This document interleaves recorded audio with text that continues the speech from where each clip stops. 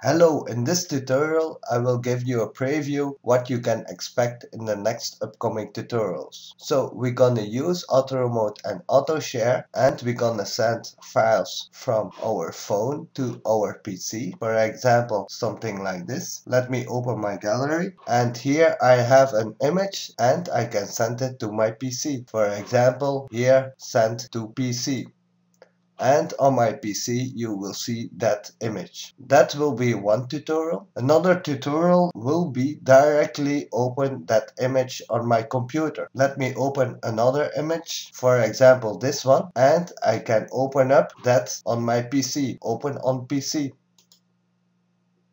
And you will see here that image and also another tutorial sending files from my PC to my phone and open it directly on my phone. For example, this image, right click, send to my phone and there it is on my phone. So those are examples what you can expect in the next upcoming tutorials. If you like it, if you are interested, just follow my Google Plus community and my YouTube channel. See you next time. Bye.